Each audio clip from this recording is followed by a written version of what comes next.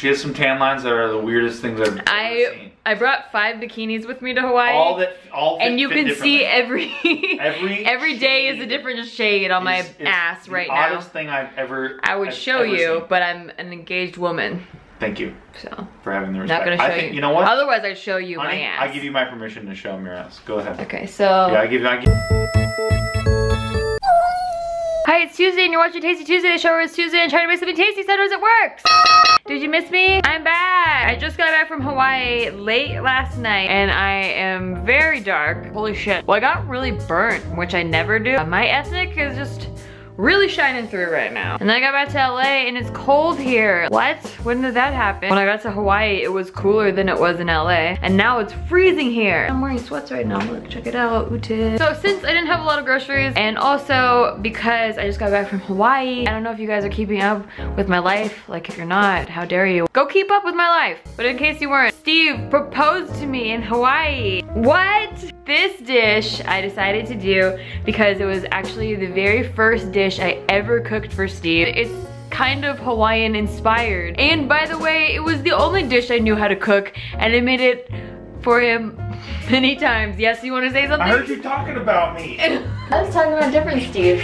Sorry, we're in love. It's gross. Whatever. We'll enjoy it while it lasts before it ends. Probably in just a couple of short years, right, huh? Probably, and then you can make a bomb ass cry video. Can't wait. Get it, baby. Get it. Get it. Well, I basically, I didn't know how to cook before Tasty Tuesday. I accidentally stumbled upon this dish. I made it up. Like I just started throwing ingredients together and it ended up tasting really good. So pretty good. much that's all I would make. So I know it's gonna be tasty. However, I thought it'd be really nice for you guys to know about because in case any of you out there don't know how to cook, are broke as fuck, maybe want a quick dish to put together, all of those things were really useful for this dish. This is how you make it. Are you just be- gonna be an extra in this video? Yeah. Yeah, I'm just gonna hang out. Anyway, I know it's gonna be tasty, but I wanted you guys to know how to do it, so let's make this dish. We're gonna start with the rice. We're starting with the rice because it pretty much is the longest thing in the whole dish, which isn't very long at all. It takes about 20 minutes. By the time this rice is done, will be about the time the chicken's done, and they'll come together very nicely. You're welcome. I'm using Botan rice. I'm probably gonna make it the Filipino way, which is you fill it up a cup or whatever, you fill it up to a certain amount, and then you use just this line on your finger, on your middle finger, for how much water to put in. But if you don't want to do it the Filipino way, I think it's a cup of rice for two cups of water.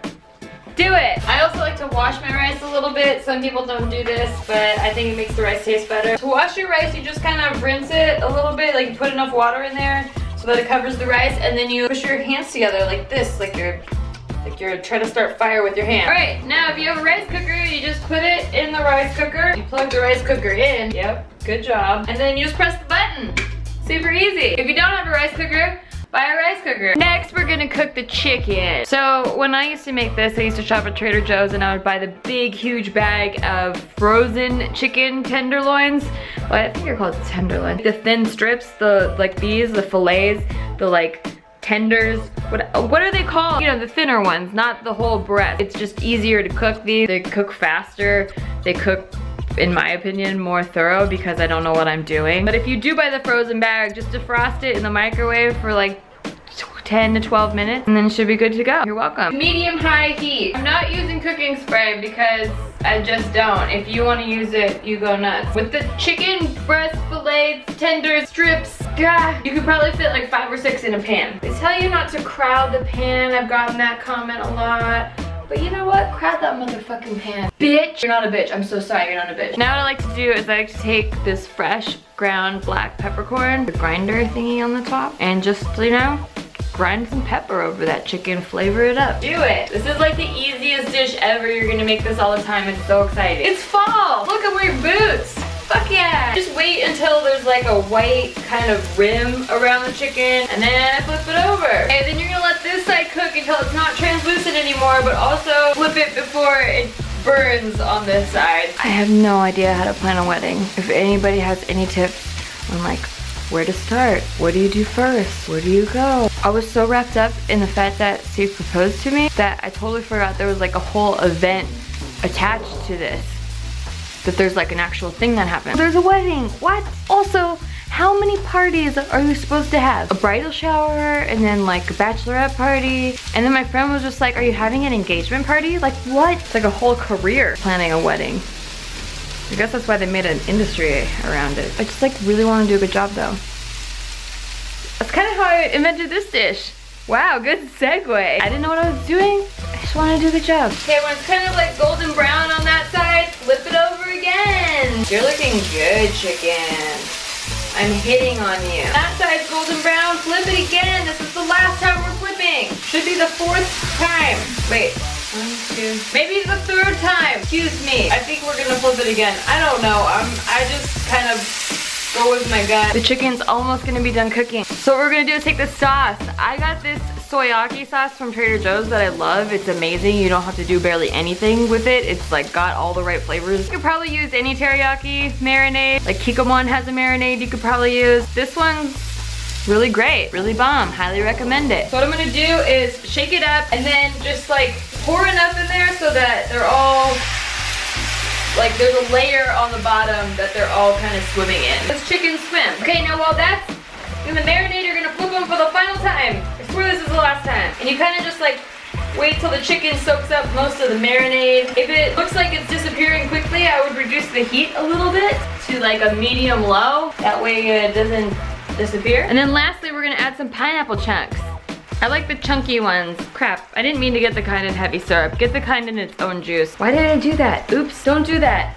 Get the kind in the juice. Why? Whatever you got, juice or syrup, drain it out of the can. And then just like add as many chunks as you want. You like a lot of pineapple? Add a lot of pineapple. You don't like pineapple?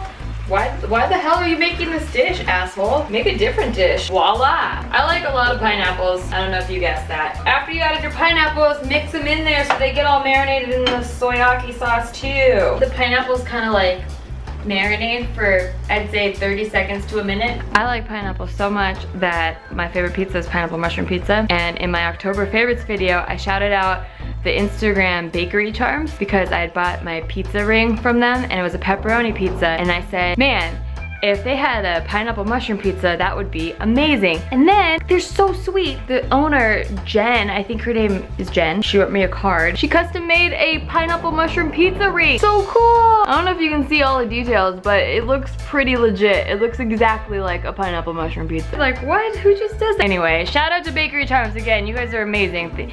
You are amazing. It's just one girl, not you guys. She's not an entity. It's a girl.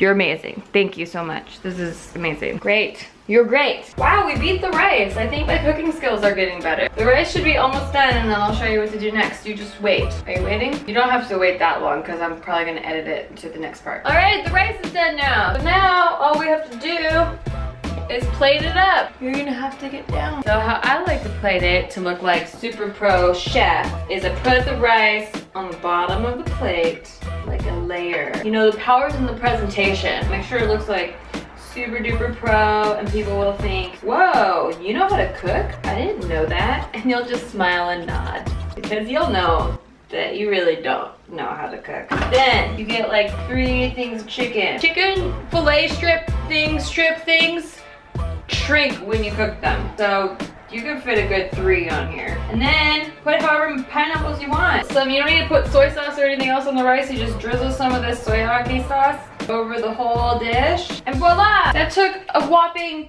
20 minutes. That's it. Most of it was just waiting for the dumb rice. If you want to add like a little something something on the top, it'll make you really pro. Toasted sesame seeds, hit it. Take it up a notch.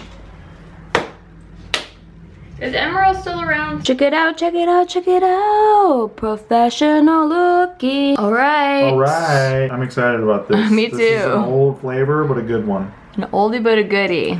Uh, is there teriyaki on it? It's soyaki. It's like a Soyaki. cross between soy sauce and teriyaki What do you call this this meal?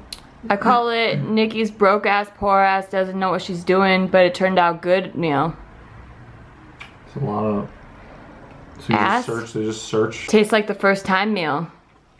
Does it taste like the first time or have my skills improved? Um, This was this was what it was it two and a half years ago that I made this dish for him. it, It tastes exactly like the first time, which is because it's you nailed it back then because you were so broke ass, poor ass Poor ass, bomb ass. Bomb ass. Yeah. That you were doing it a lot. So it's tasty. It's very tasty. Yes, it's tasty and it's easy and it's fast. It's like those are the three things. And it's cheap. Yeah, slap it high. I make new videos Monday through Friday. I'm back. Jack. That's to the one person out there named Jack that's watching this. If, if you want to see something made on Tasty Tuesday, leave it in the comments. I can't really talk sentences, but uh, I was thinking of making Thanksgiving side dishes for the next couple weeks till Thanksgiving. Let me know if you're into that. If not, then, I won't. Or maybe I will. Um, and I'll see you tomorrow. Bye. Our vaginas